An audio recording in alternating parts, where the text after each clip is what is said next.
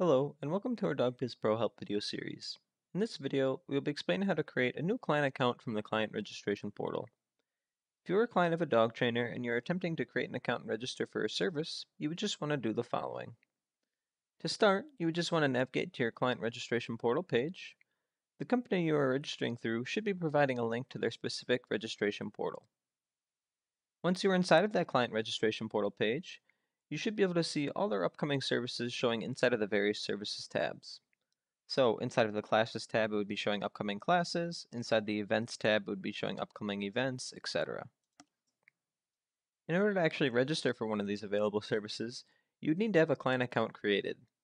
If you already have a client account, you can click on the login button in order to be taken to the login page. From the login page, you could enter in your associated email address and password in order to actually log into that client account. If you do not yet have a client account created and you wanted to create one, you could click on the Create an Account button in order to set up and create a new client account. After you click the Create an Account button, you should be brought to a new page asking you to enter in your email address to begin the registration process. As a reminder, the email address that you would be entering inside of this location is what you would use in order to actually log in. So you want to make sure you actually have access to the email that you're entering inside of this location. So for this example, let's say you want to enter in your email as something like testemail at dogbizpro.com. You can go ahead and do that. Once you are finished, you can click the Go button in order to be brought to your account creation page. From inside of this page, you'd be able to fill out our default registration form that's showing inside this basic information section. This default form will collect basic information that DogBiz Pro uses in order to create a client account.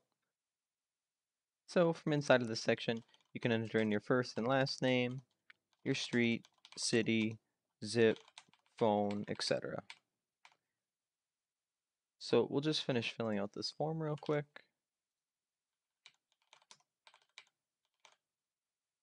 As long as you have all the required fields filled out, you should be able to move on into the next section.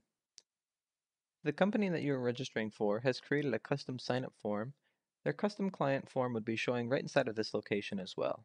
So you would just want to scroll down and you should be able to see that custom form showing. So you would just want to fill out any required fields inside of this custom form section in order to continue through the registration process. So for this example, we'll just populate that custom form with just some test responses.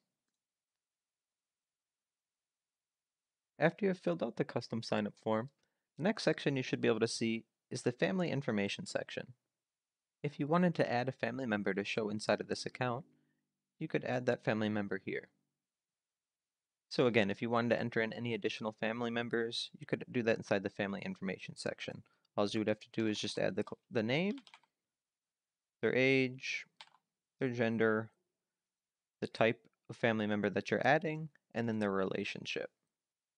So we'll just choose son as an example. Now, with this family member set up, if I was to create this client account, this additional family member would be showing attached to my client account inside of the Family Members tab. Lastly, if the company has email marketing set up, you could scroll down and see a mailing list section showing inside of this page as well. From inside of this mailing list section, you'd be able to see all their available mailing lists that they currently have created. If you wanted to sign up for one of their mailing lists in order to receive newsletters, reminders, etc., you would just want to put a checkbox next to the list that you're interested in. So again, by checking the appropriate checkboxes inside of this section, that would allow you to control which email lists you're signing up for. Once you're finished, you can click the Register button in order to actually create that client account. Once you have created your client account, by default, it should take you to the dog page where you can set up and create your new dog. From inside of this page, you can enter in the dog's name, their gender, their age, their primary breed, any allergies that they have, etc. If the company is allowing it, you are also able to add in your vaccines for this dog right at this stage as well. If you scroll down to the vaccine information section, you'd be able to enter in when your vaccine was given and when that vaccine was expired. So again, if you actually wanted to set up vaccine information, you would just want to click on the given text box and you should be able to choose a date and the same with the expires as well. Now, if I was to create this dog account at this stage, it would be showing that the dog was given a rabies vaccination on 7-1-2017 and that it expires on 7-1-2018. Just like the client page, this dog page will also show an additional sign-up form if the company has one attached.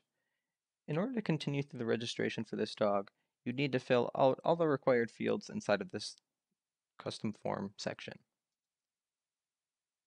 You'll notice that this particular custom form doesn't have any required fields showing, but you can still fill out those fields if you wanted to. So we'll just add that information to that field just to show you what it would look like. Once you are finished filling out all the dog information inside of this page, you can click the Save button in order to actually create your new dog. If you have a dog and client account created, you should be able to register for an available service right from the client registration portal.